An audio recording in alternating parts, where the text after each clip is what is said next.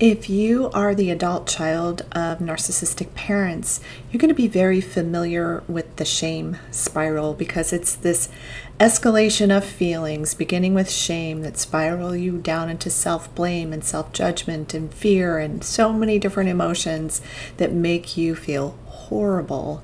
And you may say that a lot like, oh, I feel horrible. I feel so bad that those kinds of feelings come up a lot when you've been raised by a narcissistic parent. So, in this video, what I'm going to talk about is healing the shame spiral because it's something that we become very familiar with. We do often, and we do all on our own, even when our narcissistic parents are no longer in the house with us.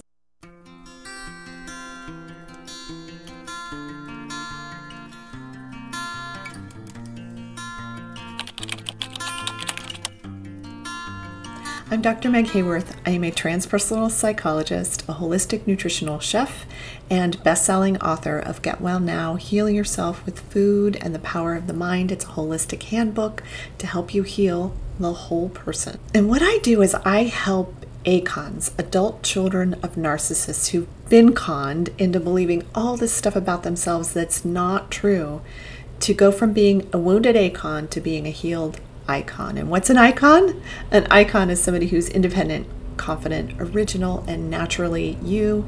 And I can help you do that in my Iconic Me coaching program. In my online course, Healing the Five Primary Wounds of Parental Narcissistic Abuse. So let's get on with it. So, what are some ways that you can help yourself to heal the shame spiral? That moment when you just feel all of this shame and it just these feelings just escalate and get worse and worse and all the self-blame and then rumination and all of the the inner talk about being a horrible person which you know isn't really the truth of you how do you heal all of that well, first of all, it's possible. So that's good to know, right? So you have to remember something about narcissistic abuse. It is a shame driven disorder. And what the narcissistic person is doing is they've created this outer shell idea or this image of who they want themselves to be and who they're pretending they are. And they're projecting that image to pretty much everyone around you. Um, but if you're close in with the narcissist, they're projecting all of the shame that they're not willing to look at themselves. They're not willing to look at their own shame. They're not willing to work through their shame. They're projecting that shame onto you. And if you're empathic and sensitive, kind and loving and caring and all of those things, it's so much harder for you because you'll function as what I call a shame sponge. And you'll feel like you're just sponging in all of this shame and you'll feel bad most of the time. And this shame can lead to illness. And this is exactly what happened to me. The shame leads to illness. Now, they've actually measured shame on the scale of consciousness, and on this scale, shame is the densest of all of the emotions. And they've measured these emotions based on hertz or sound frequency waves. And it's 20 hertz. It's, it's like super dense. It's hard to move, but shame is the most important one to move. It's the most important one to move out of your system to help you feel better, to help you get well. And it's definitely what helped me get well because it was an emotion that really had taken over my life and I have to really work with. And if you are the adult child of a narcissist, you're going to have to work with shame too. So, the first thing I want you to do is start noticing, and you should keep a journal about this, but start noticing what you're shaming yourself about. You may be shaming yourself about never being on time. You may shame yourself about um, being bad at organization. You're bad at making decisions. You're shaming yourself around that. You may be shaming yourself around your weight, um, always thinking you need to lose more weight and you feel awful because you know part of your shame spiral is you lose a few pounds and then you reward yourself with ice cream or something and then you start gaining the weight and you feel bad so you may be shaming yourself for things that you're doing or not doing um, you may be shaming yourselves for self for drinking too much or um, spending too much time watching TV or there's so many things that we can spend time shaming ourselves around and putting ourselves down and making ourselves feel worse than we already do.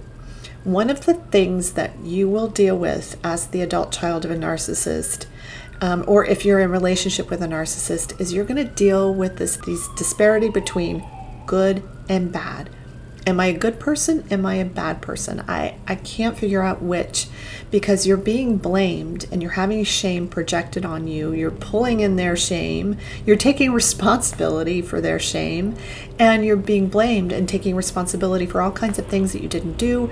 Chances are great that you're also apologizing a lot for things that you never did just to try to get them to stop being on you, to leave you alone. It's a terrible way to live. And so, this internal fight that you have around being a good person or a bad person is it's real to you, but it's really painful as well. So, let's just start with this bad person thing. That's shame. When you feel that horrible feeling, that's shame.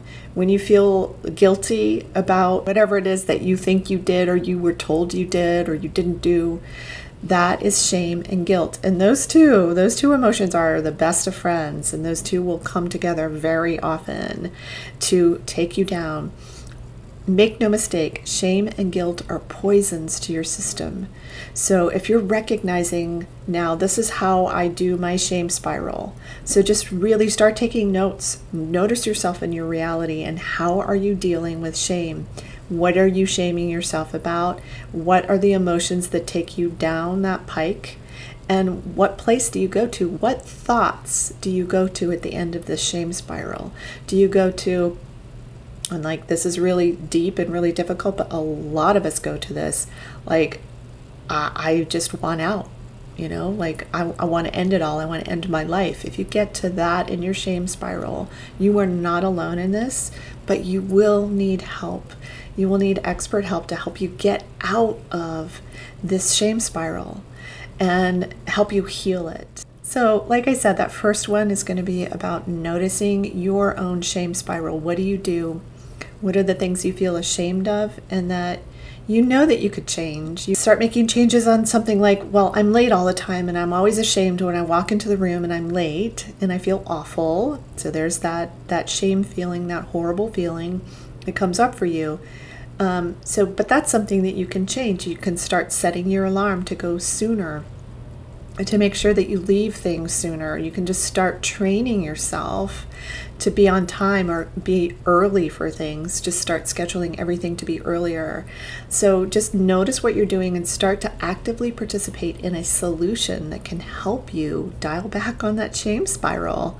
Um, maybe you start to feel ashamed of something and you go run and get a bunch of cookies. Stop yourself from going to the cabinet. Stop buying the cookies.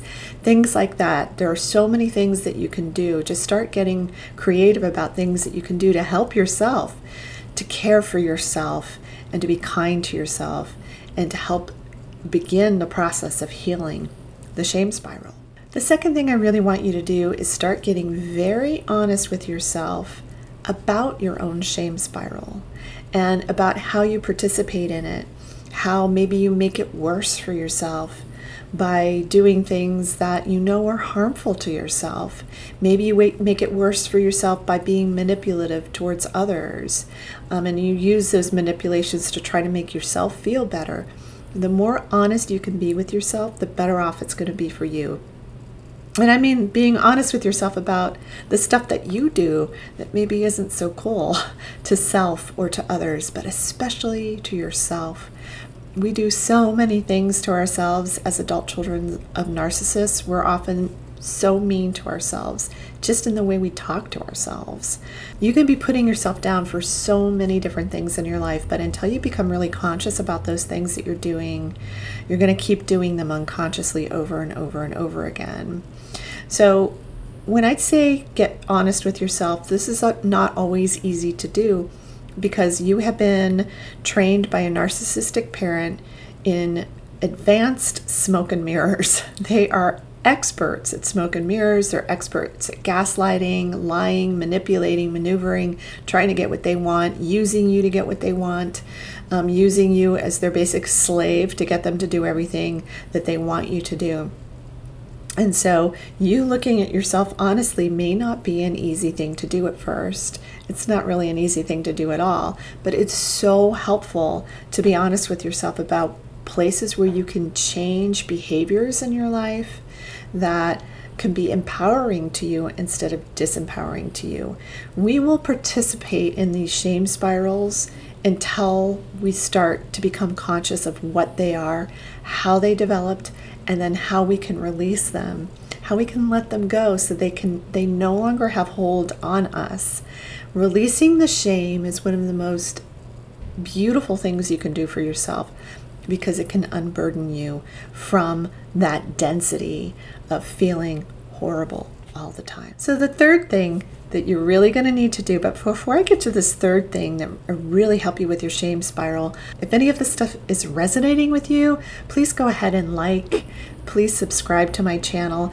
And go ahead and put anything in the comments below that you would like to talk about, something that may have come up for you, um, something that you would recommend if you've worked through your shame spirals and something that helped you, let's help each other below in the comments by having a real community forum where we can talk about the shame and that role it has played in our lives and how we can heal that too. The third thing I'm going to mention that you can do to help you with healing the shame spiral is seeking help.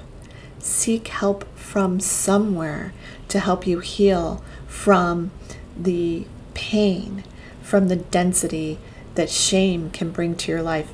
Now, if you've done a ton of traditional psychotherapy and you feel like you've hit a wall with that, then someone like me could be very helpful for you to help you release the emotional root cause, release the energy of shame from your body so that you have more energy available to you to be able to do the things that you want to do um, also to watch your body heal in that process. So I created a technique called whole person integration technique that helps you do just that. Release this old, it's like uninstalling this old app of shame that isn't working anymore and installing the app that you'd really want to have in there. And so you may want to feel peace, you may you may want to feel love, you may want to feel compassion, kindness, self-compassion, caring. All of those emotions are what we want to feel, and we all have access to them. But as long as we're sitting in the shame and the shame is running the show and running the show with those thoughts, feelings, and beliefs that just keep recycling over and over and over again, as long as you're doing that, it will work against you. And so seeking help will work for you. So there's all kinds of ways to do that. There's somatic therapies, there's this, like somatic psychotherapy, like I do. Um, there's coaching, there's group coaching, there's online group support groups, um, there's my online course, Healing the Five Primary Wounds of Parental Narcissistic Abuse, that can help you release some of those energetic bonds that you have with your parents, with your narcissistic parents, even long after you've left and even long after they've passed away. So, there are a lot of things that you can do to help yourself heal from the shame spiral get creative and tell us down below in the comments like what worked for you what didn't work for you.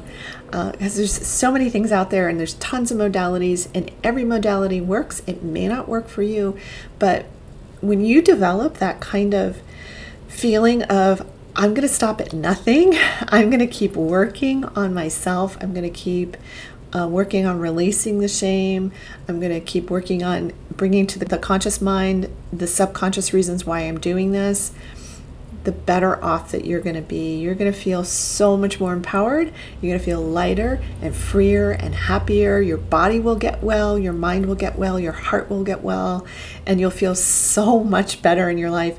Um, and if this is sounds good to you, you can also book a free call with me. Uh, it's a free call and mini reading to talk about my Iconic Me coaching program and other things that I have available to you to help you heal from parental narcissistic abuse and from your own shame spiral and help you to get well now. I'm Dr. Meg Haworth, and I thank you so much for listening to the end. I hope this information will help you get well now.